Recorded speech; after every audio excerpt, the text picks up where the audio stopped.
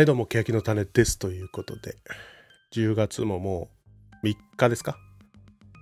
月曜日ということなんですが、ご無沙汰ですね、本当にね。本当に久しぶり。前回がね、ダブル欅フェスの感想生配信以来だそうです。約1ヶ月以上何もしなかったと。何もしなかったってわけじゃないんですよ。えー、9月が忙しかったっていうだけです。ね、YouTube もそうですけど、Twitter もほぼ稼働しない1ヶ月でしたね。そんなこんなでございまして、約1ヶ月ぶりの動画配信ということなんですけれども、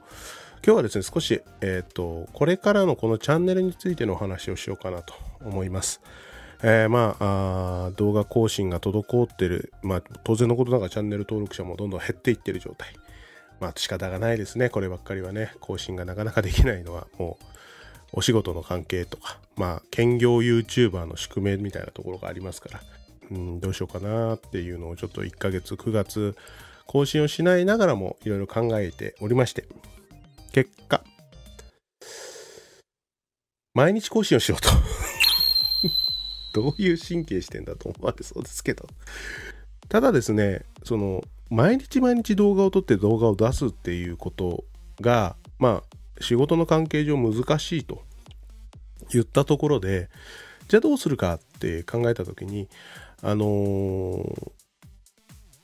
まあまとめ撮りをするスタイルをとってみようかなと思っております。ですからあのー、まあ一気に撮って喋る。まあもちろんブレイキングニュース的なね速報的なイベントとか何かあれば当然そのこと喋るわけですけれどもまあそれ以外についてはまあ僕の趣味思考な部分とか、えー、いうところを中心に、まあ、自由に喋っていこうかなといったところで今、えー、考えております。で、まあ、一方で、えー、今まで通りですねデータベース系桜坂坂道に関するデータベース系に関しては、えー、日向坂が今、えー、4期生の発表してますけれどもその後に多分桜の3期が発表が来ると思いますので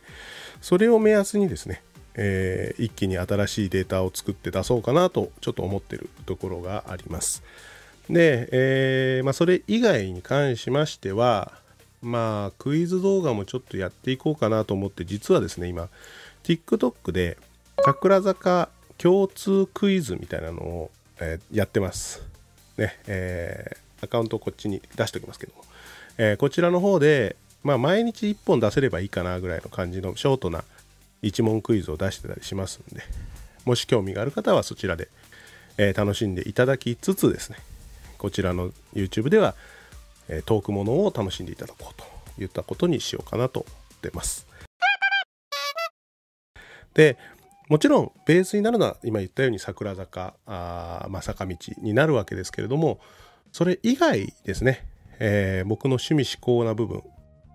で語りたいこととかもたくさん実はあったんですけど、えー、これからはですねそのまあアイドルの話それからそれ以外もですね、えー、ゲームとか音楽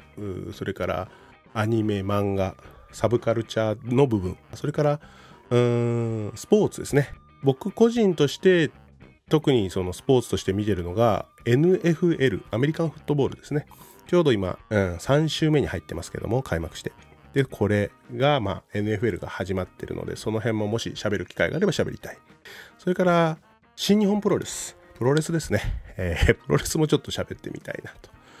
いったところがあります。はい。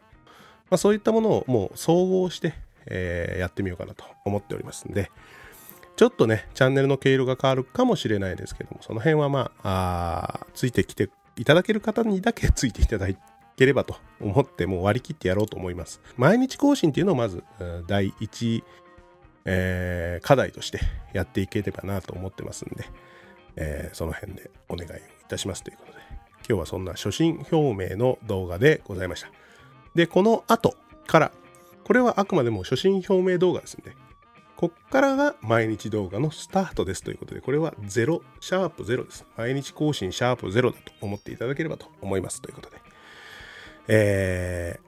これをきっかけにまた新たなね、視聴者が増えることをほんのり薄く、ね、期待しながら今日はこの辺で。